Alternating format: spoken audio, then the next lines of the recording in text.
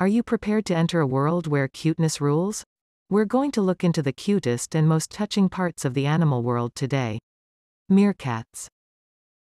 The social system of these animals, which are like guardians of the savannah, is very interesting. The fact that they hire guards is a unique part of how they act. Watching the group while the others eat or play, these alert meerkats stand tall and scan the distance for danger.